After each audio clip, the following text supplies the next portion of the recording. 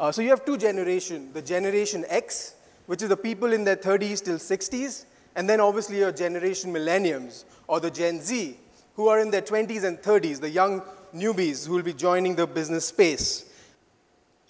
So when you look at the event space, you have obviously the first, the current event goers. Uh, by rough estimate, they say around 300 to 350 million people.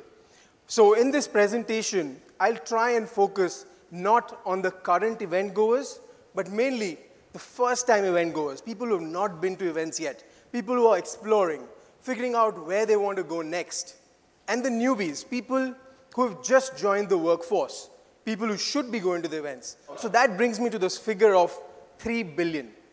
Let's not worry about the 300 million that we are already reaching out to in the event space. The potential out there is tenfold. And surprisingly, it goes with the name 10times. Uh, there's a tenfold potential that we have.